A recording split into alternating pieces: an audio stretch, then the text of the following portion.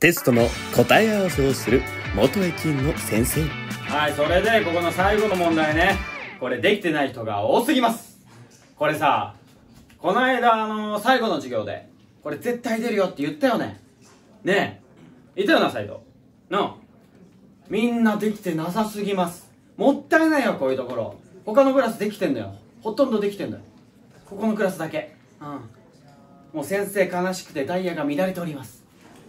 みんなここ笑うとこね。うん。で、あのー、総合的に見ても、ちょっとこのクラス平均点が非常に低いです。なのでね、うん。いつまでも、あのー、各駅停車に乗ってないでね、みんな。そろそろ特急列車、急行列車に乗り換えてください。うん。あ新幹線でもいいよ。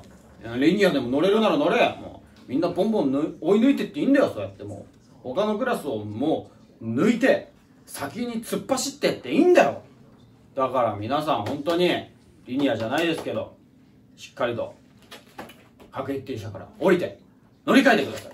はい。ちんたら行かないで。ね。スピーディーに行くのが一番いいんですから。はい。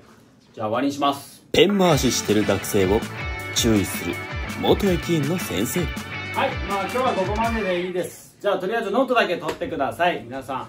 はい。おい田中田中ペン回しやめろお前。ぐるぐるぐるぐる山手線みたいに回して。お前高輪ゲートウェイで降ろすぞ。わからんか。わからんな。失礼しました失礼しました。はいまあノート取ってください。はい。